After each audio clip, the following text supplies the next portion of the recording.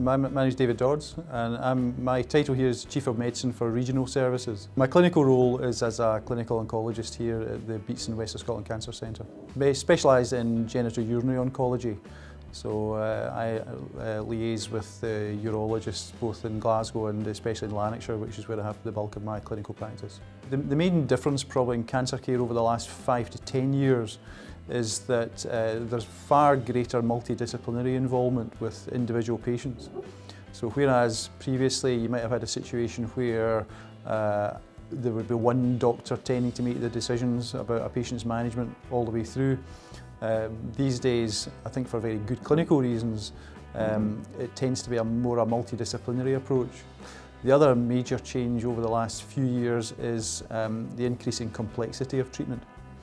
And it's really um, recognition of the increasing complexity of individual cancer patients that has necessitated a multidisciplinary approach.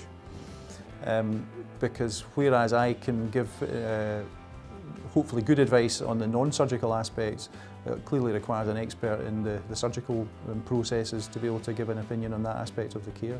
Technology has been hugely um, influential from the point of view of radiotherapy. So the, the techniques that we, I'm using today are light years away from those that I trained with 20 years ago, even 10 years ago. So um, uh, the, the, the ability to treat patients more accurately, to higher dose and with greater imaging and greater reliability has increased um, tenfold in the last 10 years.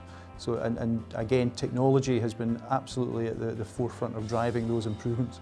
What we're able to do now is to be able to generate radiotherapy plans for individual patients much, much quicker than before. And that's based on, generally speaking, it's based on computer algorithms. Um, so uh, previously it used to take like two or three days to make a radiotherapy plan for a patient, whereas now it can get done in 20 minutes. So we're able to tailor our treatments much more. And again, that, that, that, that applies to drug treatments as well in the sense that um, specific genetic and molecular abnormalities can now be assessed within individual patients and drug treatments can be tailored according to the individual requirements. There are some technological aspects which can only be delivered in big centres and radiotherapy is the main example of that.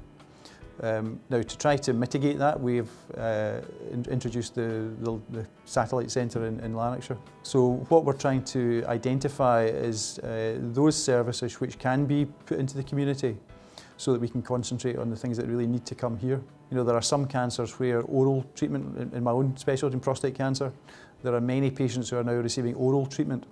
Uh, and those largely those patients are still coming to hospital for it, and there's no need for it. So again, we're actively trying to pursue means of uh, having that treatment dispensed within the community. Um, chemotherapy as, as such, uh, there are some, some regimes which we can deliver in the community, others we can't. So again, it's trying to tailor things accordingly so that um, those services which can be devolved into community are done so, but only when it can be done safely and where patients are going to benefit from it.